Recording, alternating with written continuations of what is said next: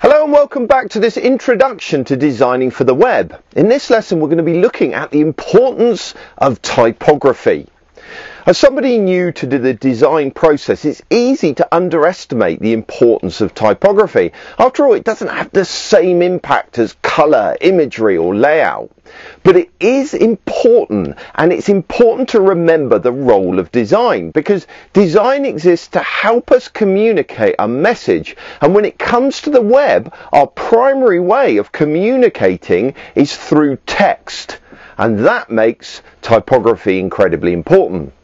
Get it wrong and your content will become illegible or communicate entirely the wrong type of message to the reader. When you talk about typography, most people's minds instantly go to their choice of font. It's important, however, to stress that typography is not just about which fonts you use. There are many other factors to do with typography, factors that we're going to touch on later in this video. That said, your choice of font is an important decision when it comes to designing for the web and I want to help you with that. First, it's important to explain that in order to use a font on a website, that font needs to be loaded onto the user's device if it's not already available. Unfortunately, due to licensing restrictions, you can't simply use any font that you have installed on your computer. Instead, you need to use a font that is available for use on the web. When starting out, you may well choose to limit yourself a little bit to just the free fonts that are offered by Google. Over time, as you learn more about typography, you may wish to explore paid services that offer a wider range of faces, but I recommend starting with Google Fonts. But a word of warning if loading a font from a service like Google Fonts you can get very big very quickly. Fonts are pretty large and they don't always load instantly. In fact, in some situations they may not load at all.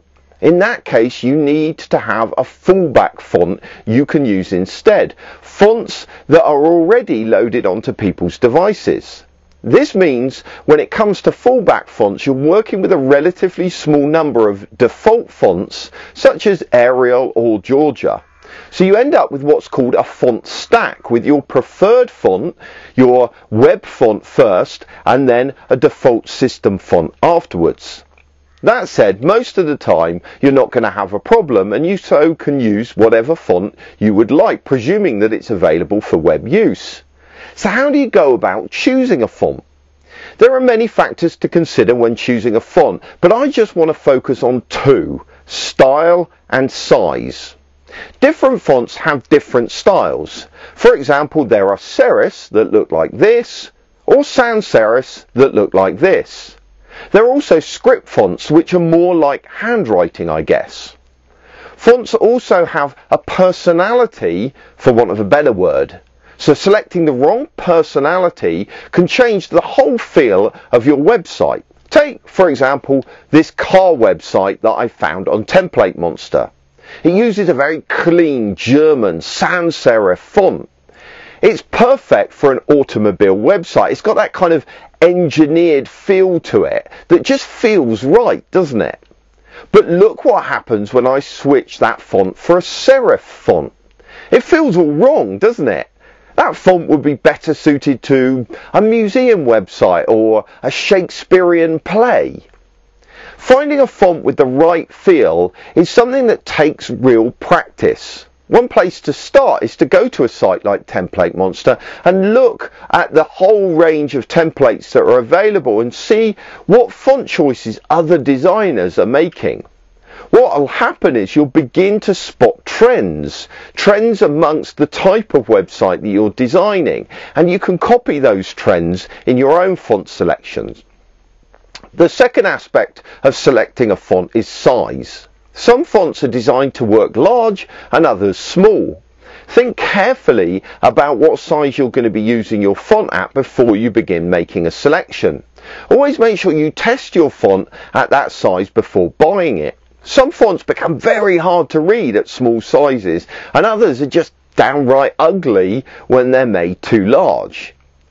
You may have to use more than one font when working at different sizes, but be very careful. Too many fonts can look terrible.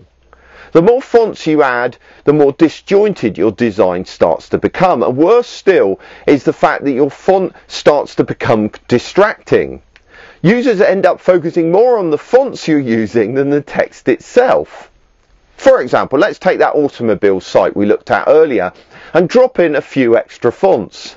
It looks pretty messy, doesn't it? You'd be forgiven for thinking that you could use a font to highlight particular elements on the screen. But in truth, the result is often like this, just a big mess. If you want to create a sense of visual hierarchy, if you want to differentiate elements on your page like we discussed in our last video, then try using different weights and sizes of fonts instead of different faces. If we look at the original version of our car website, we can see how the designer has used bold and light versions of the same font very effectively together to create a visual hierarchy. Now, don't misunderstand me. I'm not saying that you should never use one of the uh, more than one font. I'm suggesting that you just need to show a little bit of restraint really. If you do want to use more than one font, then finding two fonts that go together can be quite tricky.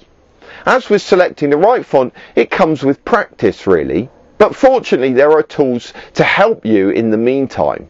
For example, fontpair.co helps you pair Google fonts together.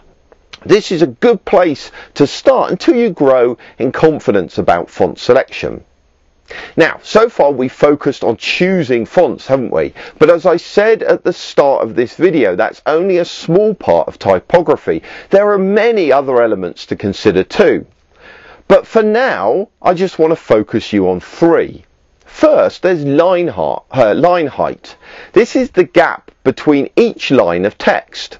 The closer the line height, the harder it is to read as the eye can accidentally skip from one line to the next. Unfortunately, the default line height set in most graphics packages and browsers is a bit on the tight side really. Try to set your line height to at least 1.2, but ideally try even larger um, line heights. Not only will increasing the line height increase legibility, it will also make your design feel more open and airy. You can see what I mean if we take this lovely typographic design from Template Monster and reduce the line height. Look how cramped everything becomes. You can see why the designer decided to increase the default line height. The next thing to consider is letter spacing.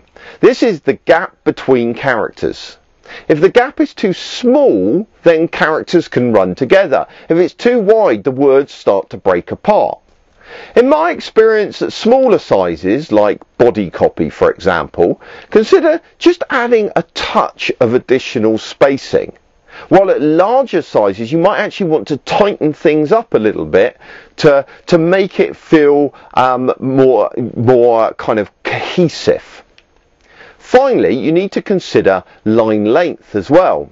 This is one of the most important elements of typography and can be particularly challenging when you're working on a responsive website. Do you remember? A site that adapts to the device it's on.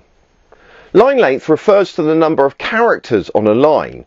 Too many characters and your eyes get tired as they strain to scan the entire length of the line too few characters and the eye is forced to continually uh, dot back and forth, increasing the chance of you losing your place on the page. Although there is some disagreement, most people believe a good line length is somewhere between 50 and 70 characters, so you should be aiming for that in your design. This means at smaller screen sizes you may have to reduce your font size to compensate. To be honest, it's not always easy to stay within that bracket of characters, especially on mobile devices, without making the text unreadably small. So you may have to experiment to get the right balance. So that's about it for this video. Hopefully you can now see the value of typography and that it's about a lot more than selecting the right typeface. I've given you some advice on picking fonts, but don't let that be at the cost of line length, height and spacing. Finally, don't forget that you don't need a lot of different fonts. All that's going to do is clutter your design and slow down your website. Instead, rely on different weights and sizes to draw attention.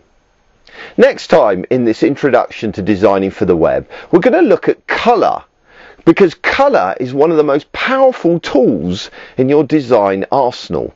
But until then, thanks for watching.